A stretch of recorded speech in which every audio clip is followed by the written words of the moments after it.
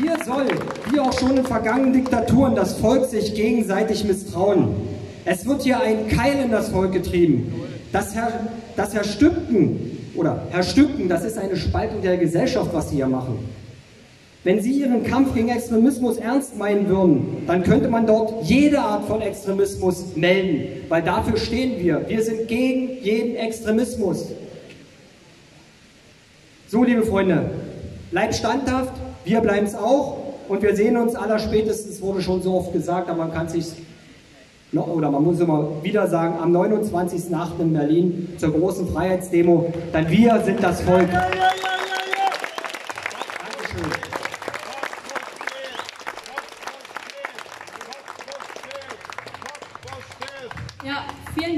dass du wieder den Weg zu uns gefunden hast. Von vielen Teilnehmern auf der Demo in Berlin, aber auch von anderen Teilnehmern von anderen äh, Corona-Demos rund um die Republik, habe ich bereits gehört, diesen Ausspruch, die Stimmung hier ist wie 89. Und auch im Internet werden immer wieder Vergleiche gezogen zwischen den Freiheits- und Corona-Demos und den Montagsdemos von 89.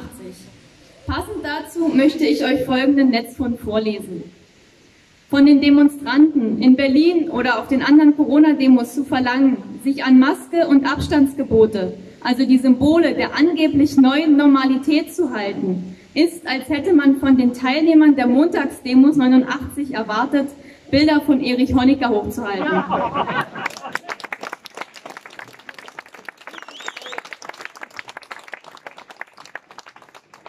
So, und jetzt bitte ich äh, Kathi ans Mikrofon.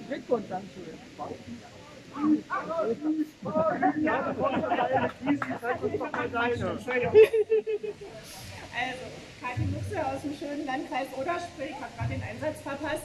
Ähm, erstmal danke. Ich will es auch ganz kurz machen. Wir hatten ja gestern ähm, auch eine Demo und die ging zwar ein bisschen um ein anderes Thema, da ging es eigentlich darum, ähm, Tesla, also ihr wisst alle Grünheide, Tesla, da werden also Millionen oder wir wissen es nicht, in wieder ein neues Projekt von der Landesregierung gesteckt. Es sollen angeblich Arbeitsplätze geschaffen werden, es wird ein neuer Bahnhof gebaut und wen wundert es, die Bahnlinie hält denn genau an der polnischen Grenze. Die Stellenanzeigen waren bis jetzt auch so, sie suchen Mitarbeiter mit polnischen Sprachkenntnissen. Ja. Dafür werden bei uns jetzt in der Region Wald und Seen äh, 300 Hektar Wald mitten im Wasserschutzgebiet gerodet, wo diese Firma baut. Ähm, es gibt dafür keine Baugenehmigung, also soweit sind wir in diesem Land schon, sondern es gibt fünf Sondergenehmigungen vom Minister und zwar macht da auch der grüne Umweltminister Herr Vogel mit. Und zwar berufen die sich nur aufs Bundesemissionsschutzgesetz 8a. Wie gesagt, es sind Vorabgenehmigungen, es ist nie eine Baugenehmigung erteilt. Ich weiß nicht, wer von euch ein Grundstück hat und er baut mal beim Nachbarn vielleicht auf die Hälfte eine Garage. Ich weiß nicht, ihr kommt nicht bis zum Dach, also ganz sicher nicht. Da habt ihr vorher ein Problem. Und äh, wenn ihr einfach mal so Bäume bei euch abhaut, die schon ein bisschen älter sind, habt ihr auch ein Problem. Aber es geht halt alles, wenn da ein gewollter Investor hinkommt. Ähm, der muss auch dann für den Baugrund nicht ordentlich bezahlen, ist alles gar kein Problem. Wir ruinieren auch eine ganze Region. Bei uns ist die Arbeitslosenquote unter 3 Prozent. Das heißt, wir haben eigentlich Vollbeschäftigung. Ähm, unsere Handwerksfirmen, die eigentlich Unterstützung bräuchten, bei denen ist so, die suchen verzweifelt Arbeitskräfte. Und ganz sicher ist es keine Region, man hätte dieses ganze Projekt, wenn überhaupt, mit diesem vielen Geld, dann vielleicht in die Lausitz bringen sollen. Genau das haben wir der Landesregierung auch vorgeschlagen, aber auf AfD-Vorschläge muss ja nicht reagiert werden, gesunder Menschenverstand wird ausgeschaltet. Deshalb, ihr wart am 1. August alle in Berlin, geht am 29. August auch wieder alle nach Berlin und demonstriert friedlich für unser Land, für Brandenburg und auch, dass in so einer Region wie wir oder Spree unsere Leute weiterleben können, weil wir sind alle angetreten und haben gesagt, wir wollen unsere Heimat schützen. Unsere Heimat ist uns was wert und die lassen wir uns auch nicht vom amerikanischen Investor kaputt machen. Vielen Dank.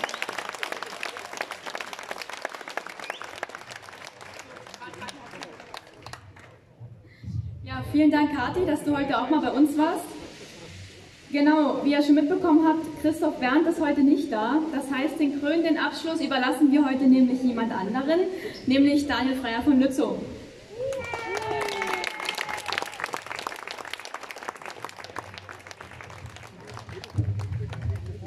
Ja, vielen lieben Dank, dass ich heute was sagen darf. Äh, Bin natürlich kein Ersatz für Christoph, das ist mir klar. Ja, aber ich versuche heute mal den sogenannten Volksverhälter zu machen und nicht den Volkslobbyisten, ja, als Jäger dastehe. Es ist viel gesagt worden heute. Ja, gegen Corona geht aber auch um Innenpolitik. Ich war letztens am Gardasee gewesen. Ich kam wieder an der deutschen Grenze, haben sie Tatsache Bundespolizisten mit MP stehen gehabt. Frühmorgens auf einmal. Aber die haben nicht kontrolliert, ob einer illegal einwandert, ja, sondern Tatsache, deutsche Urlauber rausgezogen und wollten Corona-Tests mit denen machen. Und wehe dem, du hättest dich geweigert. Ich habe Glück gehabt, ich bin nicht kontrolliert worden, sonst wäre ich heute nicht hier, sondern im Knast. Und ich hätte mich nicht kontrollieren lassen. Ja, aber so muss man sich mal vorstellen. Da wird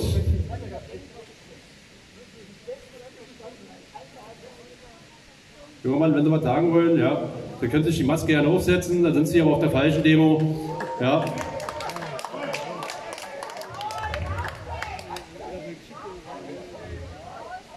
So, ich denke mal, die Ordner werden den jungen Mann der Demo verweisen. Ja, und wenn er der Meinung ist, er muss eine Maske tragen, den Maulkorb, dann soll er das gerne tun, aber nicht hier auf unserer Demonstration. Wie gesagt, es ist eine Menge gesagt worden. Lasst euch von sowas nicht ablenken. Das ist noch nicht so schlimm, wie es im Landtag ist, was man da alles sich anhören muss. Die Leute tragen von den Kameras auch einen Maulkorb. Ja, aber so wie die Kamera aus ist, kuscheln sie miteinander. Ja, das sind die Leute, die euch befehlen, Maulkorb zu tragen. Im Bundestag das Gleiche. Ja, da wird kein Maulkorb getragen und im Berliner Abgeordnetenhaus auch nicht. Aber jedes Mal in Berlin in der Sparkasse, da kommt da ohne Maulkorb nicht drin. Und draußen stehen die alten Leute. Die wirklich alten Leute stehen da draußen und schwitzen bei so einem Wetter, wenn sie eine Sparkasse wollen, Geld abholen wollen. Eine andere Möglichkeit haben sie ja nicht. Ja, und stehen da und kollabieren fast. Und wenn so ein Mann hier sagt, ja, ich soll überlegen, was ich sage. Ich weiß genau, was ich sage. Ich war letztens an meinem Vater im Krankenhaus gewesen. Was meint ihr denn, was das für eine Farce war, dort reinzukommen? Was man da nicht ausfüllen muss. Und dann laufen die Pfleger drin ohne Maulkorb rum, ja, die Kranken laufen ohne Maulkorb rum. Ja, aber du musst erstmal, wenn du als Gast drin willst, einen Maulkorb aufsetzen. Und das kann ich nicht nachvollziehen. Meine Tochter hat mich angerufen und hat zu mir gesagt, Papa, ich muss am Montag in der Schule, ich muss eine Maske tragen. Ich sage, die musst du nicht. Ich gehe nicht in die Schule, wenn ich eine Maske tragen muss. Ja, weil auch die Kinder haben schon auch die Kinder merken, dass man sich mit dieser Maske anonymisiert. Ja? Und diese Anonymisierung, egal wo man hin ist, das ist doch das eigentlich, was die wollen. Eine Anonymisierung, kein Zusammenhalt mehr im Volk. Ja, das, was sie seit 2015 mit der illegalen Einwanderung von Millionen Bürgern schon angefangen haben, soll jetzt weitergehen. Guckt euch mal die Werbung an. Guckt euch einfach mal die Werbung an. Habt ihr schon mal irgendeine Werbung gesehen, die ohne Zuwanderer ist? Ja, man möchte, man möchte uns langsam dahin führen, dass wir das als normal empfinden. Ich empfinde es nicht als normal. Ja, ich bin in der DDR aufgewachsen, 89 war ich in der 10. Klasse. Ja, ich kenne auch ein soziales Gefüge, da konnte man zum Nachbar gehen, wenn man mal die Butter haben wollte und wenn man Kinder hatte. Guckt euch doch mal heute um. Wer unterstützt denn wen noch? Dann sind die wenigsten noch. Und da möchten wir uns hinbringen. Kein Zusammenhang mehr, weil wenn ein Volk nicht mehr zusammenhält, dann ist es kein Volk mehr.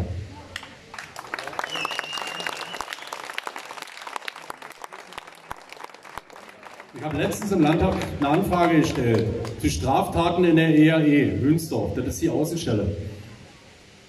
Da kam eine Antwort, da gab es keine. Keine Polizeieinsätze. Nun kenne ich aber zufälligerweise die Polizisten, weil ich in dem Landkreis groß geworden bin und aufgewachsen bin. Und dann habt ihr dem Polizisten gesagt, Mensch, äh, was habt ihr denn da gemacht? Na, vielleicht waren wir ja am Karussell spielen. Ja? Tatsache wirst du sehr als Abgeordneter von dieser Landesregierung belogen. Belogen, wenn du eine Anfrage machst oder versuchst, eine Akteneinsicht zu kriegen, wie jetzt viele Abgeordnete von uns, Thema VS, dabei wird hingehalten. Weil alle, was die nach außen erzählen, ist eine große, große Lüge. Und man muss sich mal reinziehen, der Herr Wolke ist mit zwei Stimmen Mehrheit gewählt worden. Also nicht, also gerade mal knapp über 50 Prozent der Abgeordneten. Ja, ihm haben sie ja nach sechs Stimmen der Koalition gefehlt. Also nicht mal die waren sich einig, diesen Mann als Ministerpräsidenten, was nicht meiner ist, zu wählen.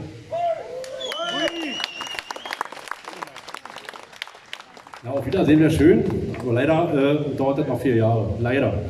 Und in den vier Jahren oder werden sie noch genug Schaden anrichten. Man guckt sich einfach mal an. Wir stellen gute Anträge, ja? ob es Landwirtschaft ist, ob es äh, Umwelt ist, ob es äh, ja, wie Löschflugzeugstaffel ist, um Arbeitsplätze zu schaffen ja, in der Lausitz. Was wird gemacht? Es wird immer wieder, immer wieder, nee, ihr könnt nicht, ihr seid nicht, ihr seid zu blöd dazu und da muss man sich wirklich anhören. Ja, und das ist das, wo wir anders sind. Wir gehen raus, wir unterstützen Bürgerbewegungen, wie Bürger für Bürger, wie Pegida, ja, wie Zukunft Heimat. Wir gehen mit den Leuten raus. Wir gehen auch am 28., ja, am 29. mit nach Berlin. Ja, der letzte war auch dabei. Ja, da hat man es leider auch wieder gesehen, dass viele Polizisten einfach das machen, Kadavergehorsam.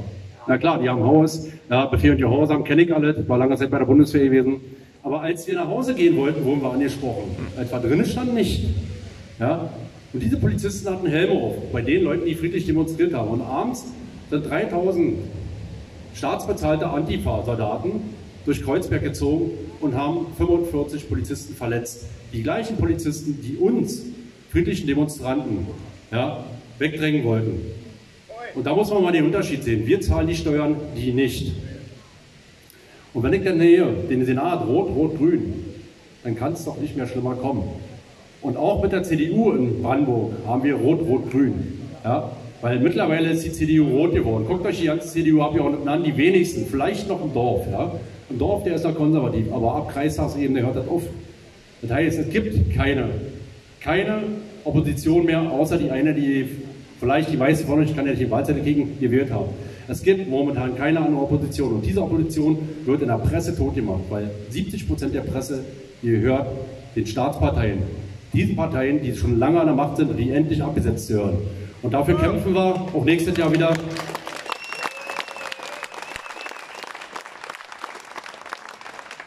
Und deswegen stehen wir ständig auf der Straße. Ich stand am Freitag die 16. Woche in Folge mit meinem Ortsverband in Blankenfelde. Zwar sind wir bloß neun bis zehn Leute, die draußen stehen, aber ich freue mich über jeden, der da mitsteht, ja, weil wir zeigen Flagge.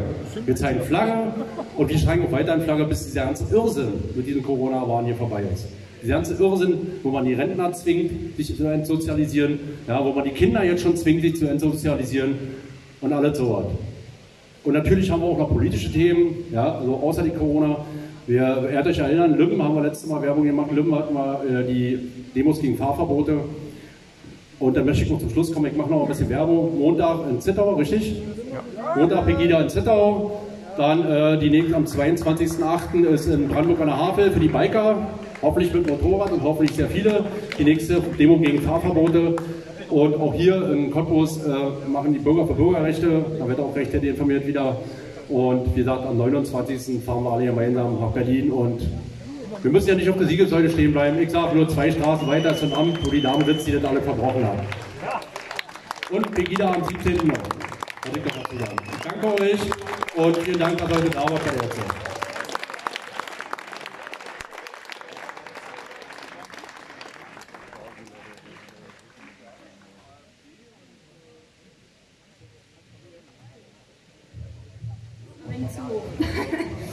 Genau, also wir sind jetzt am Ende unserer Veranstaltung.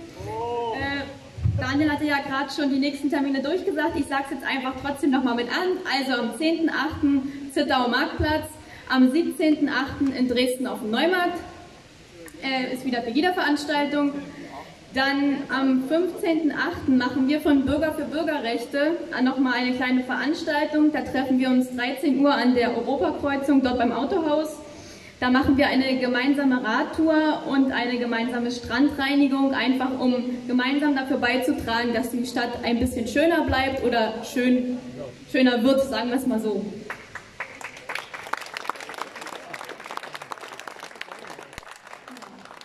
Genau, am Sachsendorfer Badesee machen wir jetzt unsere erste Aktion. Genau, dann am 22.08. findet wieder unsere nächste Kundgebung statt. Ich denke, die wird auch wieder um 15.30 Uhr stattfinden, genau, also 22.08. 15.30 Uhr. Und wie heute schon so oft erwähnt, am 29.08. findet dann die Demo in Berlin statt. Da haben wir auch eine Liste ausgelegt. Das heißt, wir fahren wieder als Bürger für Bürgerrechte mit einem Bus dorthin. Wer mit dem Bus gerne mitfahren möchte, kann sich gerne in die Liste, die am Stand liegt, mit eintragen. Genau, und wie immer am Ende der Veranstaltung möchte ich, euch, möchte, möchte ich gerne mit euch zusammen die Hymne singen und dafür bitte ich nochmal alle Redner hier ans Mikrofon.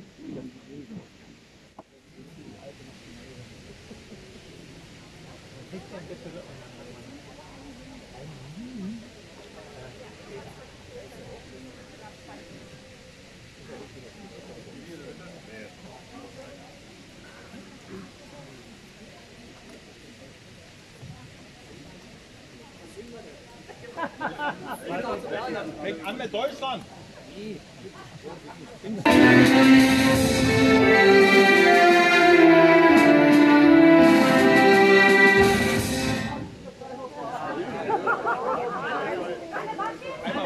Der Versuch war es wert.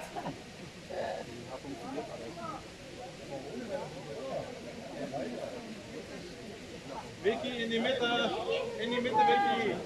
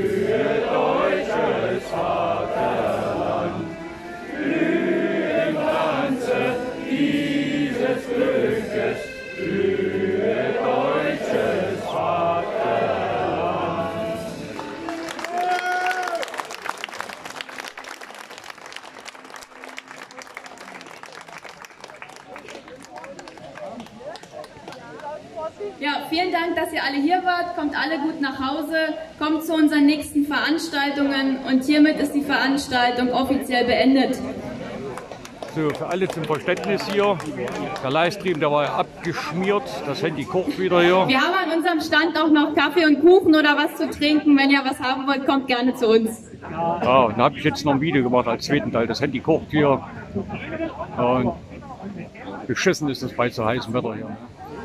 Die Handys werden nicht genügend gekühlt, weil die Pro Prozessoren haben keine Ventilatoren. Ne? Und bei 60 Grad schmieren die eben halt ab hier. So, ich wünsche euch noch was aus Cottbus, einen schönen Abend. Und man sieht sich morgen in Chemnitz, 19 Uhr, vom Rathaus zum Spazierengehen. Denn Spazierengehen ist gesund. Bis dahin verbleibe ich euch, euch der Kalle. Und tschüss.